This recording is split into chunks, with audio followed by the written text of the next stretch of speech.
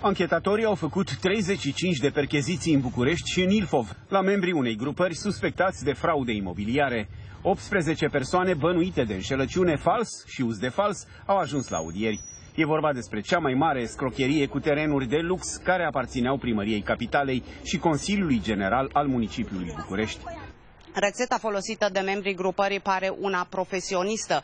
Aceștia falsificau documente, chiar și hotărâri judecătorești definitive, prin care atestau faptul că ar fi proprietarii imobililor de lux pe o perioadă de 30 de ani. Cu aceste acte reușeau să întabuleze imobilele pe care ulterior le vindeau la mica publicitate cu milioane de euro. Una dintre victime e chiar Dumitru Dragomir, care a plătit bani grei pentru un teren pe care a ridicat un complex imobiliar de lux.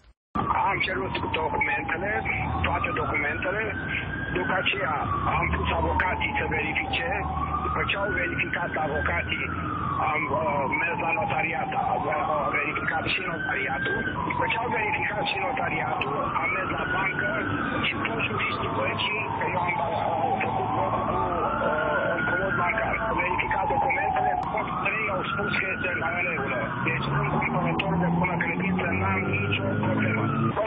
costat peste un milion, nu știu, în, în jur de un milion 500 de mii și grupul peste 12 milioane de euro.